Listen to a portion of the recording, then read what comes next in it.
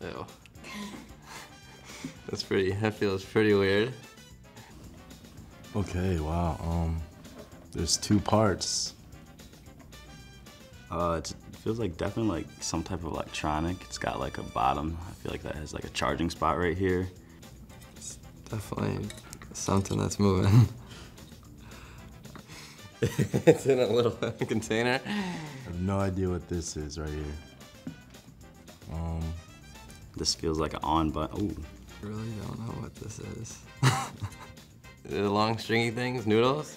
it's wheels. Actually, no, it's not a wheel. It's a video game controller. There you go. a super old like um an iPod. It's got two parts to it. Is this arrow? Is it a like a bobblehead of some sort? Is it Sparty? Oh, there we go.